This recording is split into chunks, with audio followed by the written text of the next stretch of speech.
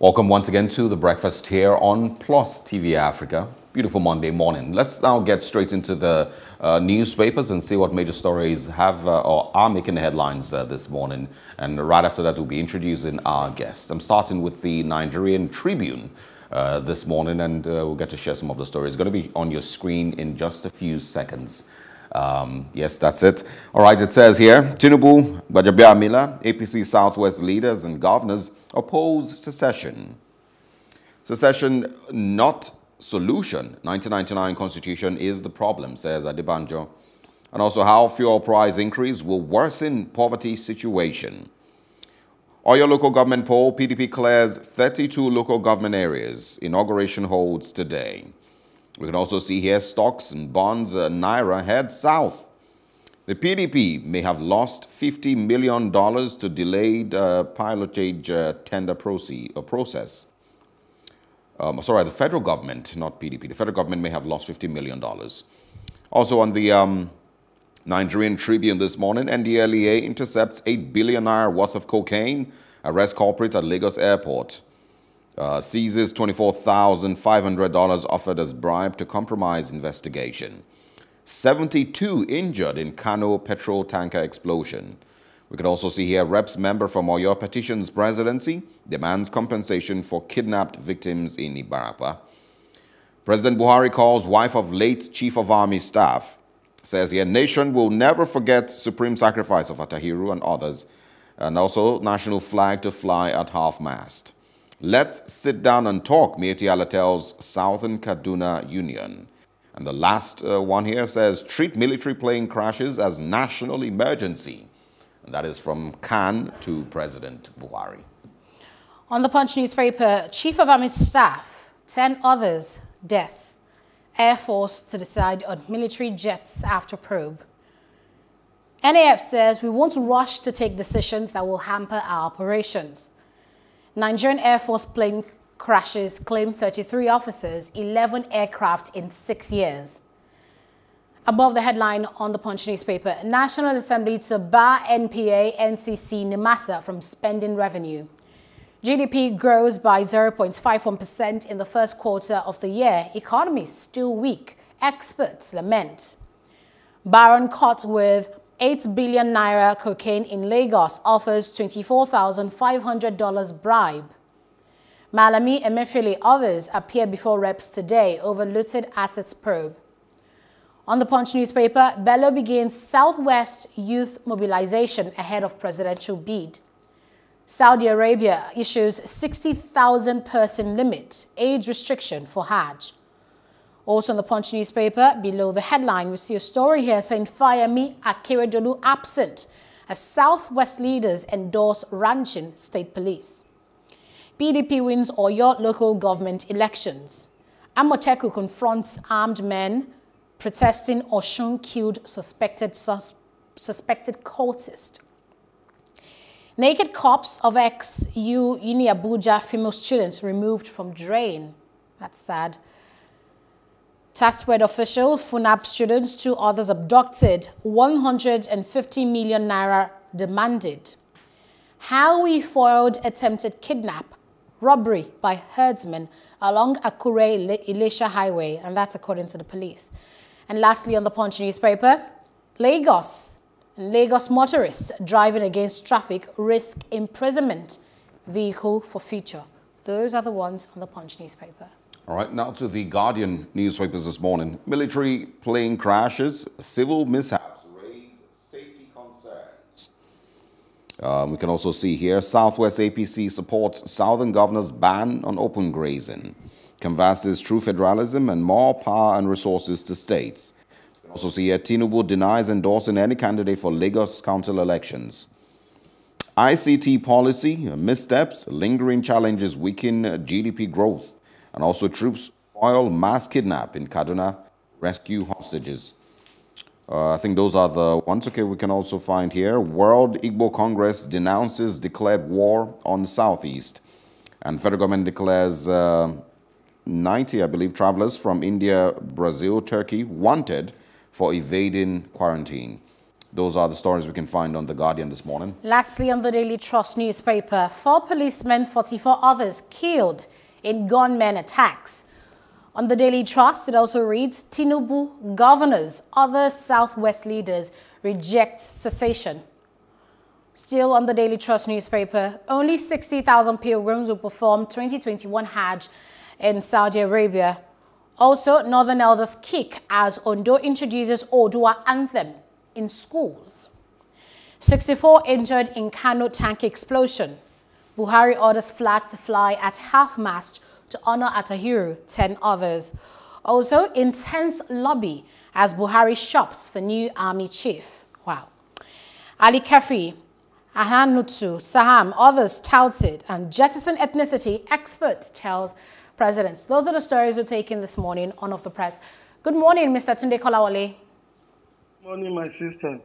The biggest story. Lovely weekend. Oh yes, fantastic. Thank you. The biggest story we've seen on our papers today is the uh, the very sad incident of the plane crash that claimed the lives of ten officers, you know, and our Chief of Army Staff, Lieutenant General Ibrahim Attahiru, and the controversy surrounding the president's, you know, absence and his vice president as well, with this a 44, 48 hour security protocol, you know, thrown in between. Um, how do you come in?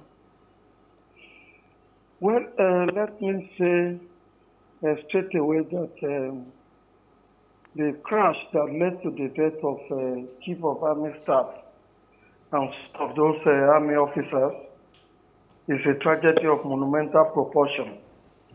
It's not what anyone will wish for even his worst enemy. Look at the Chief of Army Staff. He is just about 54 years old that's a young man, in my humble opinion, who ordinarily still have so many, many years ahead of him to render services to his fatherland. Also look at, look at the pilot, the man who flew the aircraft. His father said he's the only son that he has, and about the brightest, uh, one of the brightest in the family. You can also say that for most of the other army officers who lost their lives in this uh, unfortunate plane crash. So I condole with the families of these people. I condole with the Nigerian army, and I also condole with uh, the Nigerian people. Uh, the death of just any in one individual is a blemish on all of us.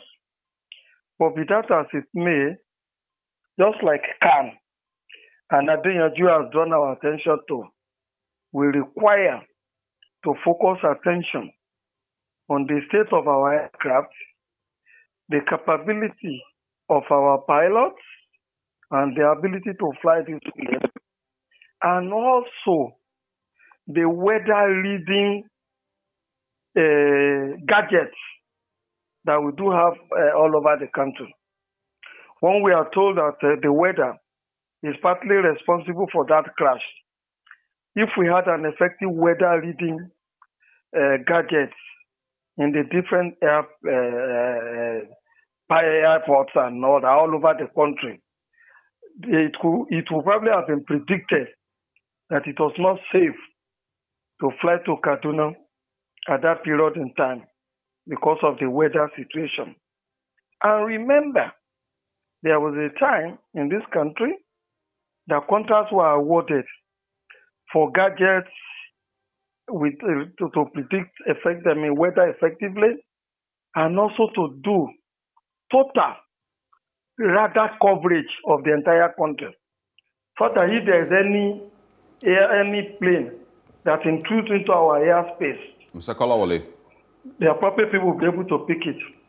Mr. Kolawole, yes. uh, qu quickly, yes. quickly, the the um, main um, you know conversation you know this morning is you know the president, of course, asking that flags be flown at half mast, and of course uh, calling the wife, uh, the wife rather of the uh, late uh, chief of army staff, it, it, without being able to attend the burial ceremony of uh, these soldiers, and of course, same with the vice president. So. Um, do you think that you know there is some reason why the president may not have been able to attend, and it's not a it's not such a big issue because that's where the major controversy has been over the weekend?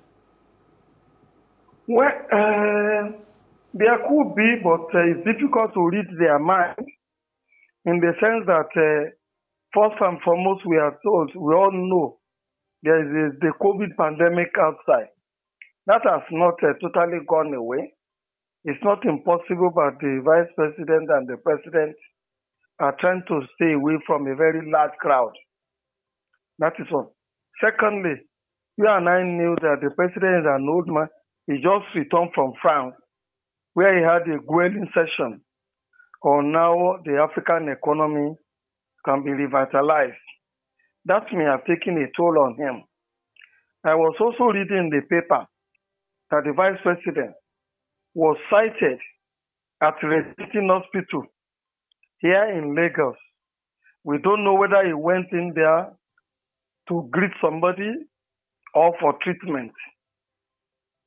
That is another angle to it. Uh, thirdly, when you look at uh, the president and the vice president, uh, they hardly go on condolence visits in most of the things that have been happening in the country uh, in the recent times. In a place like France, for example, one person was killed in Nice, and the president had to leave Paris to go and condole with the family. We haven't been seeing that kind of a thing around here. So, this may be our conjectures, and of course, it is obvious that uh, these two people may not be enjoying the best of health. It could also be that uh, they have not placed much priority on the crash that happened. For a soldier like the president himself, it's just one of those things that uh, happen in the sense that uh, if they were on the battlefield and they lost their lives and all that, generals don't engage in uh, long, serious, prolonged mourning over casualties that are recorded uh, within the army. Uh, so let's Kolawole, give it to them. Mr. Kolawole, I wanted to ask Yes. you, you, you think, you know, there should be, there should, or the president, the way he visited France for a summit, that is more important than the life of an army general that was No, I never fighting. said so. I said the grueling session. I said the grueling session he had in there may have uh, uh, made him tired or weakened him. Okay. You and I know that the president is a very old man and is not enjoying the repose of health now. I remember at one of the Eid uh, prayer, during one of uh, the Eid session after fasting, he had to sit down on a chair at the prayer ground. In the past, he would not have done that if he was in the best of uh, health. Furthermore, let me raise this issue. This is very, very important. You and I will know throughout the era of the military rule, the military head of state never developed the Nigerian Air Force. They never equipped them. They never allowed them go on training because they were scared that the Air Force could be used to overthrow their government, just like Jerry Rawlings did in Ghana. And because of that, they paralyzed the Air Force. So the, the Air Force is just revitalizing itself, it's just coming uh, back now. Uh, Mr. That is why they have not been too effective in the combat operations All right, Mr. in this uh, um, fight against the Boko Haram. Okay, uh, let, us uh, move to something else. Um, um, I want to believe that you know we have very well trained uh, Air Force uh, pi pilots and fighters. Uh, but let's move to the Southwest now, where uh, Southwest um, uh, APC Southwest leaders have opposed uh, the calls for secession. If you remember, over the weekend also, Tunde, uh, sorry, uh, Sunday Igboho uh, led um, a rally in uh, Akure, asking, of course, uh, for uh, the Yoruba nation to break away from Nigeria. Um, the news this morning says the Southwest APC um, uh, leadership and uh, governors have opposed the call for secession, but of course have given a go-ahead for the ban on open grazing. Quickly also respond to that one. Well, let me quickly say that uh, I have seen different headlines in the different papers with regards to the meeting that was held in Lagos between the so-called uh, Southwest leaders and the APC. Uh, the headline in The Guardian is different from the one in the Tribune. But let me correct an erroneous impression. People met in Lagos are the loyalists and supporters of Asiwaju Ahmed Bola Tinubu. You can't adequately describe them as Southwest leaders. Furthermore, you could see that there appears to be a crack within their rank. The governor of Ekiti State, for example, and that of those states didn't attend the meeting. For me, that is significant. Furthermore, you talked about the rally that was held in Akure. As is the practice with him, the governor of Ondo State usually speaks from both sides of the house. He said um, he didn't attend the meeting in Lagos. He also said he doesn't support secession and that uh, uh, the claim by Sunday Igboho that Akeredolu is supporting them, Akeredolu has denied that. He said he's not uh, supporting them and all that. But at least he allowed the rally to be held in those places. All these are minor signs that the Southwest might not be speaking with one voice in this issue. And that will be tragic. I expected the so-called uh, APC leaders in the Southwest to have put their partisan interest behind them and support the positions that the generality of their people are taking. And maybe one Sunday Igboho is doing. Why do I say this? You may, if, if they support him, or say, look, we support whatever direction our people are going is where we are going to go to. That will put a lot of pressure on the northern leaders and compel them to come to the negotiation table. Even though when you get to the negotiation table, you may not be asking for secession, but at least you could put some other very jamming and important uh, uh, programs to restructure the country or the agenda, which the northern leaders will be compelled to either concede to you or allow you to have some of the things you have put on the table. But what they have done now, they are weakening Sunday Igboho and the other Yoruba people who are agitating for the secession of the South um, uh, uh, West. More worrisome is um, the involvement of a Chief uh, Akande in all this matter. I do know as a fact that in 1983, 84, thereabouts, during the era of the Unity Party of Nigeria, he was the deputy governor for Oyo state and the returning officer for the UPN uh, governorship election at the INEC uh, office at uh, Agodi. It was right in his presence that uh, certain policemen, certain military men were brought from certain parts of the country to come and compromise the integrity of the election. Right in the presence of Chief Akande as deputy governor and returning officer for the Unity Party of Nigeria. All the results from the field were torn. They teared it. And then they wrote a fresh uh, result that brought uh, Dr. Omololu Olunloyo uh, to power as governor for Oyo state. The uprising, the protest against that blatant rigging of the election was also met with a lot of brutality. A lot of people were killed all over your state. If a man had gone through such, um, had had such an experience in the past, one would expect him to be more patriotic and side with his people when issues are complex and as Just- germane just the same and way- as important as this. Well, just the same way, um, loyalty is to his friend, Yeah, Mr. Mr. Kolawole, whom he serves as a messenger. Yeah, just, just the same way a lot of people would argue that um, the views of uh, Nnamdi Kanu and the IPOB don't necessarily represent the views of the whole of the Southeast. Um, it might be the same way, you know, that uh, Sunday Igboho and his um, followers don't necessarily represent the views of the Southwest. And so when you're saying that the governors should um, take a stand with the people, um, the people may not, you know, be on the same page with Sunday Igboho. You know, he, he's having his own um, um, narrative. You know, the rest of the Southwest might have a totally different opinion. You know, so so maybe that's where the governors, you know, have decided to stand. Um, I'm not sure. Um, No, I think? don't think so. I don't think so. When you look at what all of us are going through today, in terms of high cost of living, in terms of corruption, in terms of light of power supply, in terms of dilapidated uh, infrastructure, everybody, whether in the south south, in the southeast, in the southwest, are suffering the same thing. The governors are taking this position simply because, or the governors supporting Bola Ahmed Tinubu are taking this position simply because they are also architects of some of the iniquities, of some of the things that their people are suffering. Take, for example, they are crying about true federalism. Which one of them has allowed true federalism to take place in their respective states? when local government elections are conducted, it is the party in power in the southwest, uh, the dominant party that will win all the elections.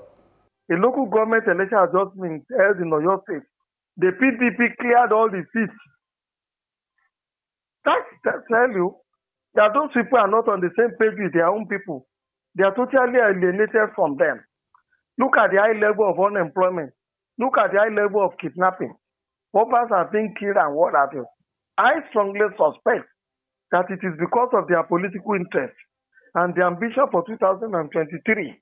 That is why they are taking a divergent position from that of their people. Furthermore, like I said before, restructuring and state police is not the issue. Even here in the southwest, all the police um, structures that they have themselves set up, like Amotekun, like a last man, like Lagos neighborhood uh, security was. Which one of them have they financed properly? Which one have they allowed to function properly? Which one have they not deployed against their political opponents for their selfish interests? So, whether it is the Igbo leaders or the Southwest leaders, they are all not on the same page with their people simply because of their vested political interests. Okay. And when leaders' political interests is at variance with their people, then you could expect that what is likely to happen is that uh, those who are agitating for this decision may have to first and foremost confront the leaders at home first before they even confront those who are outside. All, All right. right, Mr. Tunde Kolawole. We appreciate you every time you come on the breakfast to analyze issues uh, with us. Thank you very much and have a great day. Thank you. Okay, so we'll take a break here to return and discuss key events that shaped our history. Do stay with us.